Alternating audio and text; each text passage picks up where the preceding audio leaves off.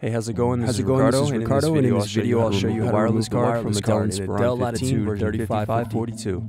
If you're looking for parts for this laptop, go to our website and use this coupon for a 5% off discount. First, unscrew and remove the access door.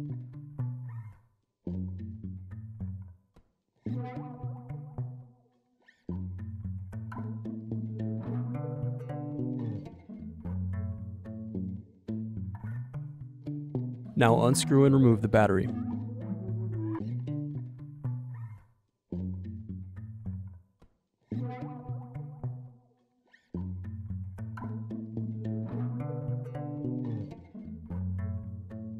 Next, unplug the wireless card.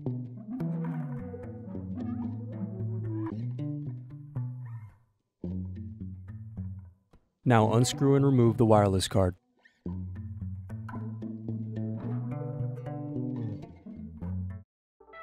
Thanks for watching. Don't forget to like and subscribe if you enjoyed this video. And if you need more, check out this playlist to watch other tutorials for your laptop. You can also click here to find parts for your laptop at partspeople.com.